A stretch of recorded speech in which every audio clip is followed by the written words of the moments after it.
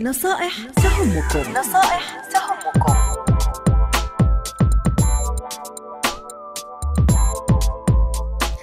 من النقاط المهمة بالنسبة لي التوازن الذي يجب أن نحصل عليه.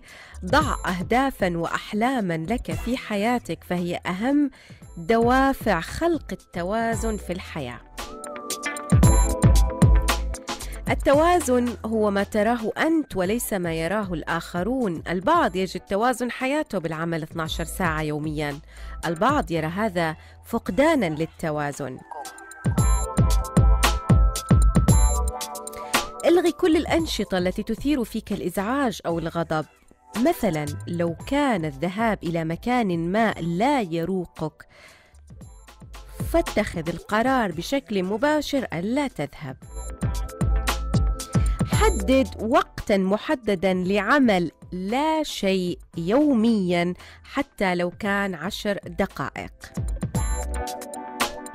اكتب كل صباح كل المهام المطلوبة منك مهما كانت صغيرة. لا تستصغر هذا النشاط فهو مهم جدا لمن يطبقه. حدد الأولويات في حياتك ويومك. ابدأ من الأهم ثم الأقل أهمية.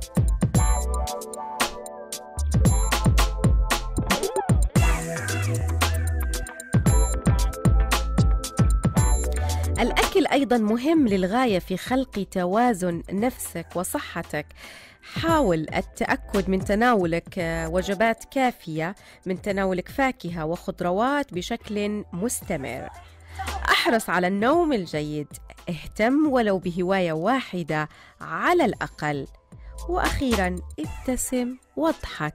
ابحث عن أشياء تثير فيك الحس المرح دائما لأن ذلك من الممكن أن يؤدي إلى خلق التوازن.